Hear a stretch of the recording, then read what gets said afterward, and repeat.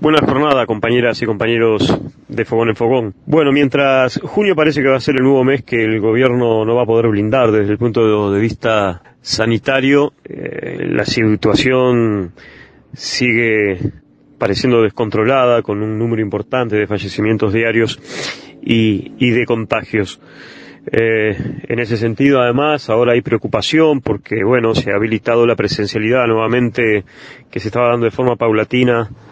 a las clases escolares y liciales. El, gobierno sigue aferrado a no generar mecanismos que permitan reducir la, la, movilidad. En ese sentido, además, se ha preocupado en las últimas horas el octavo fallecimiento de una mujer embarazada,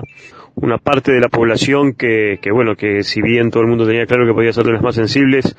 había estado un poco descuidada de los ojos del Ministerio de Salud Pública hasta que se produce este octavo fallecimiento. En ese sentido, la bancada de legisladoras del Frente Amplio ha presentado un proyecto de ley que prevé justamente, mientras dure la emergencia sanitaria, poder cubrir, poder apoyar, eh, poder proteger a las mujeres embarazadas desde el momento que se confirma su embarazo. Repetimos, por el periodo que, eh, que bueno, que dure la pandemia, esto hace a eh, asegurarles la protección a aquellas que trabajan eh, para que de alguna manera no se vean obligadas a ir a trabajar y las que no cuentan con recursos por falta de trabajo puedan contar con alguna ayuda económica de algún tipo que les permita justamente a través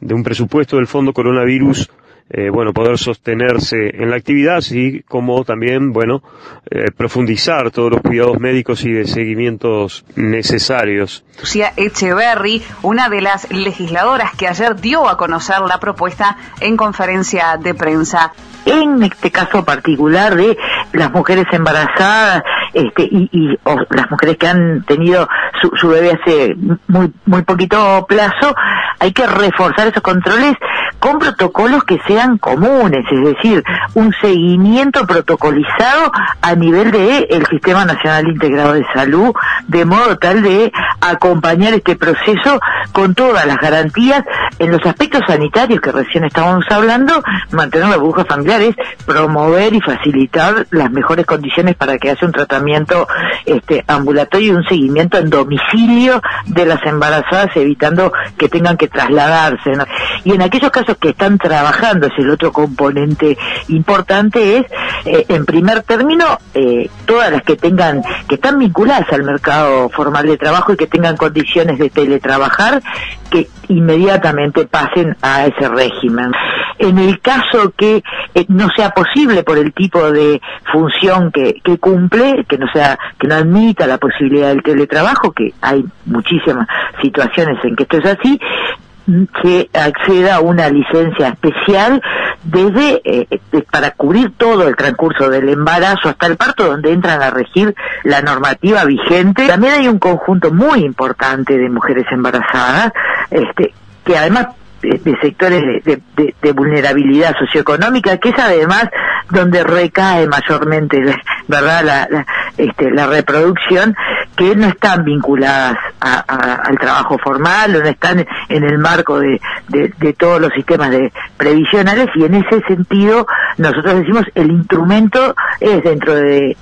la eh, y cosas que ya dispone hoy el Ministerio de Desarrollo Social, la posibilidad de instrumento de la tarjeta Uruguay Social, un monto que sea equivalente a un salario mínimo nacional. Por otra parte, bueno, eh, ustedes ya sabrán que el presidente Luis Lacalle ha estado de recorrida en el Mercosur, pretende allí, bueno, este, reactivar alguna alianza, fundamentalmente en un acercamiento con, con Brasil, Paraguay. Eh, es un gobierno que dice que no había que hacer acuerdos con aquellos gobiernos por afinidad ideológica, pero bueno, es un poco lo que, el camino que parece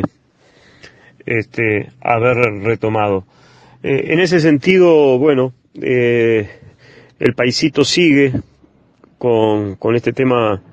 central de, de, una emergencia sanitaria que, como decíamos, eh, no parece tener continuidad y va ya de rumbo en pocos días al ingreso al Parlamento Nacional de eh, la rendición de cuentas en un presupuesto que el gobierno ya ha advertido que va a ser eh, de presupuesto cero, con lo cual a los recortes que, que ya fueron anunciados en el presupuesto pasado hay que avisorar que bueno que no va a haber aumentos, por lo tanto varios de los organismos públicos que están teniendo dificultades presupuestarias este, las van a seguir sosteniendo. En el marco de todo eso, el gobierno además eh,